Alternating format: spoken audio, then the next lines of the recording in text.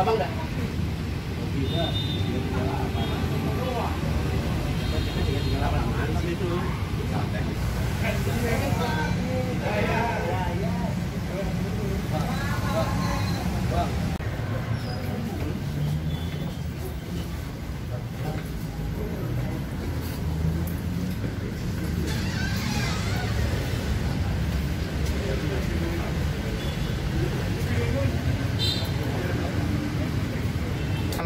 Bahwasanya pada hari Jumat tanggal 31 Desember 2019 telah terjadi penganiayaan berat yang mengakibatkan korban meninggal dua, meninggal dunia.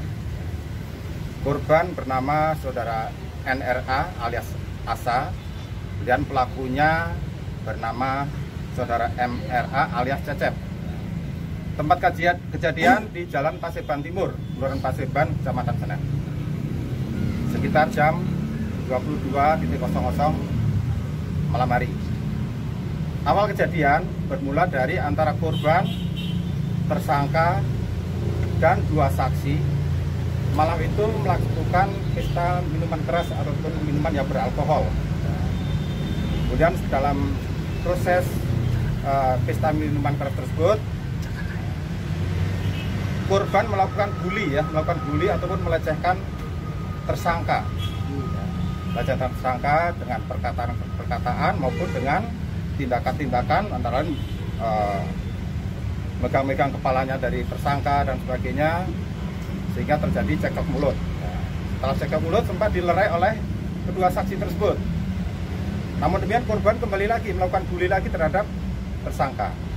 Sehingga secara uh, refleks tersangka mengambil botol minuman keras yang tadinya digunakan untuk pesta miras tersebut dan dipukulkan kepada korban mengenai kepala bagian depan atau jidat dan juga kepala uh, leher bagian belakang sebelah kiri.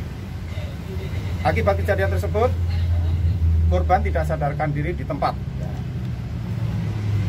Kemudian warga maupun saksi-saksi melaporkan kepada petugas polsek Senen dan petugas polsek Senen bersama uh, dipimpin oleh Kanit Ibtu Wildan uh, membawa korban ke rumah sakit. Dengan sampai di rumah sakit ternyata korban sudah meninggal dunia. Kemudian kejadian tersebut juga ditindaklanjuti oleh kanit beserta anggota dan pelaku berhasil diamankan di sekitaran TKP. Atas kejadian tersebut, uh, pelaku kami sudah dengan pasal 351 ayat 3 ataupun penganiayaan berat yang mengakibatkan korban meninggal dunia dengan ancaman hukuman sekitar 7 tahun. Demikian salam. Pak satu. Pak apa?